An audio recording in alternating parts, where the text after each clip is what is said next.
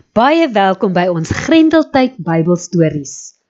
Kom ons gaan kuier gou by Dolfie en Madelief wat hulle self ook nou binne moet besig hou. Kyk net wat het ek gemaak. As ons weer terug gaan skool toe, gaan juffrou dit op die muur plak. Ek is doodseker daarvan. Ooh, maar ek is so trots op my prentjie. Dis baie mooi. Dit lyk amper soos die prentjies wat teen die mure hang. Wat noem mens dit nou weer?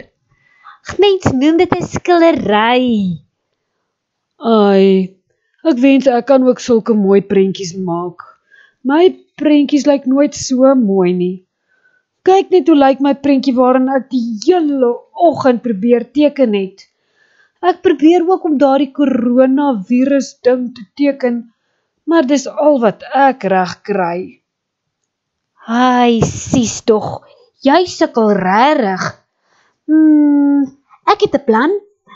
Ek het nog 'n ou inkleurboek met baie mooi prentjies in. Ek gaan dit haal, dan teken jy dit af en dan het jy ook mos 'n mooi prentjie geteken.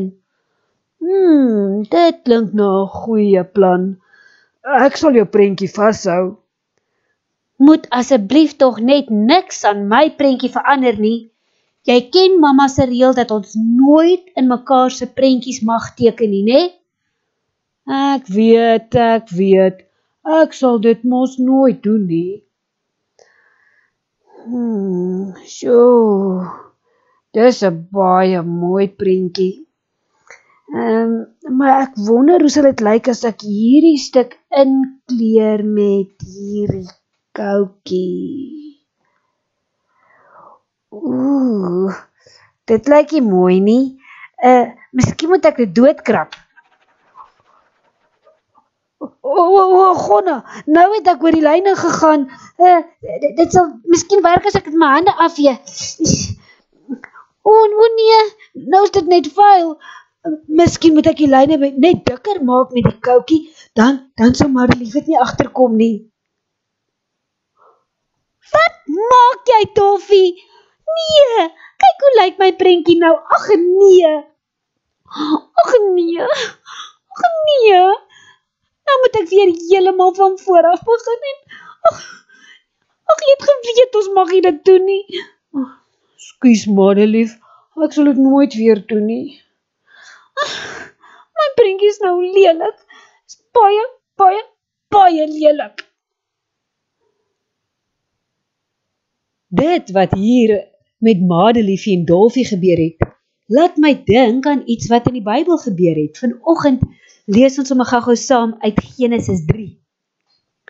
Nadat God die aarde gemaak het, was hy baie trots daarop gewees. Nog trotser as wat Madelief of jy en ek op enigiets was wat ons al gemaak het. Die Bybel sê dit was baie baie goed. Dit was perfek. Dit was presies soos God dit wou gehad het. In die Bybel in Genesis 2 vers 15 lees ons God het vir Adam 'n baie spesiale werk gegee. Hy moes die tuin van Eden, dit was die heel mooiste plek op aarde, oppas. Ek dink dit was vir hulle baie lekker in die tuin en God het vir hulle gesê: Julle mag van al die bome wat in die tuin is eet en dit geniet. Maar die boom wat in die middel van die tuin staan, moet julle uitlos. Die dag as julle daarvan eet, gaan julle doodgaan. Die reël dat hulle nie van daardie boom wat in die middel van die tuin gestaan het mag eet nie, het Adam en Eva ingeperk. God het die reël vir hulle gegee omdat hy vir hulle lief is en hy hulle wou beskerm. Op die oomblik is daar ook allerlei nuwe reëls. Ons mag nie by maats gaan kuier nie, ons kan nie saam met mamma of pappa winkels toe gaan nie. Ons kan nie gaan fliek by ouma of oupa gaan kuier nie. Ons moet ons hande was, maskers dra en ons kan selfs nie eers skool toe of kerk toe gaan nie. Die reëls is daar om ons te beskerm. So was daar ook een reël waarna Adam en Eva moes luister om hulle te beskerm. Maar toe kom die slang by Eva aan. Hy vra vir haar: "Het God gesê dat jy van geen boom in die tuin mag eet nie?" Dadelik het sy hom geantwoord: Ons mag van alles eet behalwe van die boom wat in die middel van die tuin staan. As ons daarvan eet, sal ons doodgaan. Die slang sê toe vir haar: "Seet maar daarvan. Julle sal beslis nie doodgaan nie. As julle daarvan eet, gaan julle soos God wees en julle sal alles weet.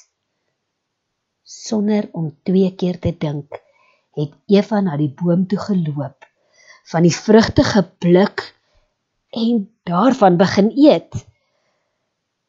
Sy het ook vir Adam gegee en hy het ook daarvan geëet Op daardie oomblik het hulle albei se oë oop gegaan en hulle het besef: O wee, ons is skaal.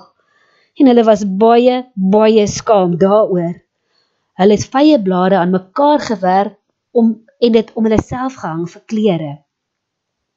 Toe dit antwoord, het hulle gehoor dat die Here God in die tuin wandel. Hulle het vir die Here weggekruip in die tuin. Die Here het hulle gesoek en toe hy hulle kry, vra hy vir hulle: "Wat het julle gedoen?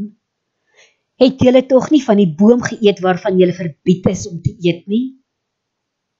Adam het geantwoord: "Die vrou wat u vir my gegee het, sy het vir my van die vrugte gegee om te eet." Die Here vra toe vir die vrou: "Wat het jy nou gedoen?"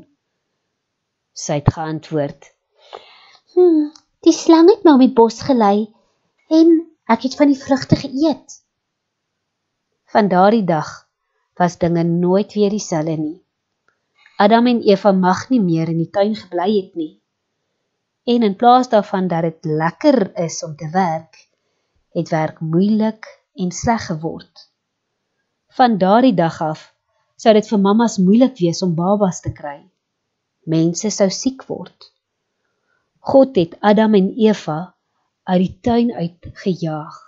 En daar het twee groot engele met vlammende swaarde by die ingang van die tuin gestaan om te keer dat hulle weer soontoe kan gaan. Sjoe, maat. Dis daarom eintlik 'n baie baie hartseer storie hierdie. Wat wil jy ons met nou so 'n bietjie verder blaai in die Bybel na Romeine 6 vers 14 toe. Want hierdie storie kan mens amper laat dink dat ons heeltemal magteloos is teen teen sonde, teen verkeerde dinge. Ek weet nie of julle al van die spreekwoord gehoor het nie. Ledigheid is die duiwel se oorkussing. En op die oomblik is daar minder dinge wat ons kan doen wat ons besig hou. So baie van ons voel so bietjie ledig of verveeld omdat ons almal die heeltyd by die huis moet wees. Bakleierery, lelik praat met mamma of pappa of sommer net lelik ongehoorsaam wees aan al hulle reëls kan nou so maklik baas wees oor ons. Maar die Bybel leer ons dat daardie dinge nie baas oor, oor ons hoef te wees nie. En ek hoop jy's nou al klaar by Romeine 6. En ek gaan daar net een vers lees, Romeine 6 vers 14. Daar staan: Die sonde moenie meer baas wees oor julle nie. Ja, sonde is al daardie dinge wat ek en jy sê, doen en dink wat God se prentjie lelik maak. Hierdie tyd kan 'n baie lekker en mooi tyd saam met jou gesin wees. Maar wanneer ons lelike dinge vir mekaar sê, op mekaar klik, mekaar seermaak, mekaar se goed vat of breek, En as ons die heeltyd wens ons was eerder op 'n ander plek as wat ons nou is en ons is ondankbaar oor wat ons het, kan hierdie inperktyd baie baie sleg wees. Wanneer iemand jou baas is, doen mens presies wat die persoon van jou vra. As sonne jou baas is, doen jy net wat sonne van jou vra. Maar as jy 'n kind van God is, as jy al vir hom gesê dat hy baas oor jou lewe moet wees, is sonde nie meer baas nie. En dan doen jy presies wat God van jou vra.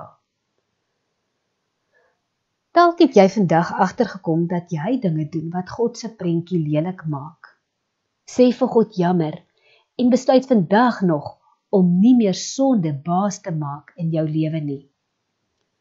Kom ons sê Romeine 6 vers 14 weer terwyl weer saam terwyl ons soos 'n soldaat op aandag staan. Marseer sommer op die plek. Salueer. En nou kan jy dit fluister asof dit 'n groot geheim is en daarna kan jy dit skree so hard as wat jy kan. Die sonne moenie meer baas wees oor julle nie. Romeine 6 vers 14. Kom ons bid saam. Here Jesus, dankie dat U baas is in my lewe. Help my om ook nou in hierdie tyd, hierdie tyd wat ons minder dinge het om te doen, om altyd eers na U te luister, om altyd voordat ek 'n ding doen te wonder, is dit die sonde wat basis of dit U of is dit U wat basis? En help my dan om na U te luister. Amen.